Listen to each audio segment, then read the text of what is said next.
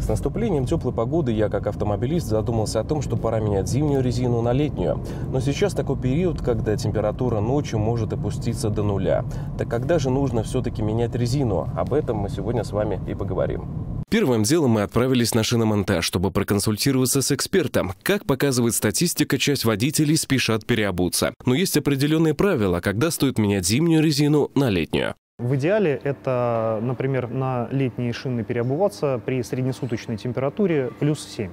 То есть, э, и, ну и по законодательству с 1 апреля, в принципе, уже можно, да, они плюс-минус рассчитали э, температурный диапазон. Состав летней и зимней резины разный, почему они, в принципе, и э, распределяются, да. А у зимней резины состав мягче, Соответственно, она при высоких температурах, то есть уже выше плюс 7, она начинает условно плавиться, то есть э, еще мягче становится.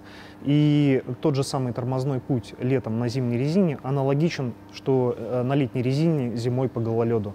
В Брянской области столбик термометра днем поднимается уже до 16 градусов тепла. На выходных синоптики обещают и того больше, поэтому по температуре менять резину уже пора. Но как ее правильно выбрать? Как утверждают эксперты, она имеет свой срок годности. Рекомендуют все изготовители шин. Э, срок службы в шинах имеет 5 лет.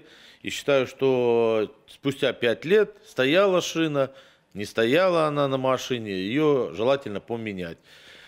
Э, так как она теряет свои свойства, усыхается и тому прочее. Э, эластичность также она терять будет. Рекомендую сюда выбирать э, шину по стандартам, чтобы по машине, как положено, если стоит по заводу изготовителя, размерный ряд правильный, ни выше, ни ниже, ни шире там придумывать из машины велосипеда я не всегда не рекомендую. Автомобилистам еще стоит учитывать тот факт, что передние колеса автомобиля обычно изнашиваются быстрее задних. При замене резины на ту, что использовали в прошлом сезоне, некоторые советуют менять шины местами, чтобы сделать износ более равномерным. Кроме этого, для тех, кто не успел переобуть свой автомобиль, предусмотрено наказание. С 1 сентября 2023 года вступило в силу постановление правительства Российской Федерации номер 837. Согласно изменениям в перечень неисправностей и условий, при которых запрещается эксплуатация транспортных средств,